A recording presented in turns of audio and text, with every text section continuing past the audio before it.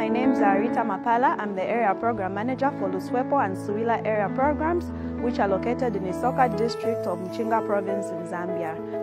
Right now, today we are at Kantensha Health Post, which is one of the health facilities under the World Vision catchment area in Isoka district. At this facility, we have constructed a maternity annex as well as a mother's waiting shelter with support from our donors from World Vision Taiwan.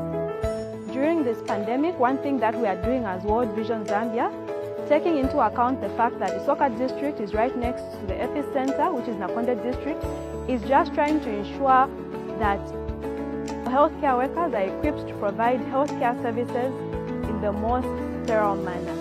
One way in which we are doing this is promoting hand washing at facility level by procuring hand washing stations at all the four facilities that we are supporting in the district. Another thing is also providing disinfectants such as granular chlorine and also infrared scanners to reinforce screening at community level. All these things that we are doing in the four facilities that we're working in are benefiting a population of about 40,000.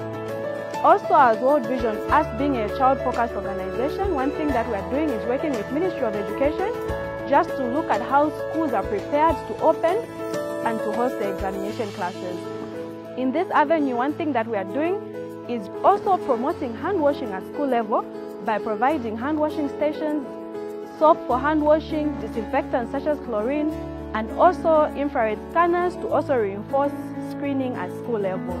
We believe that through these efforts that we are doing to, to supplement government efforts, we ensure that as a district, even as a community, we are able to ensure that we offer these services which are key but in a manner that ensures that we have no new infections and the frontline staff as well as the community that is accessing these services are protected. I also want to take this opportunity to thank our donors for the goodwill and the support that they're rendering to us.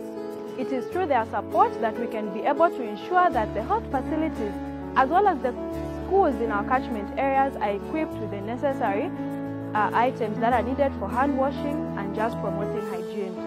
Also, through their support, we've been able to conduct door-to-door -door awareness for all the households in our catchment area.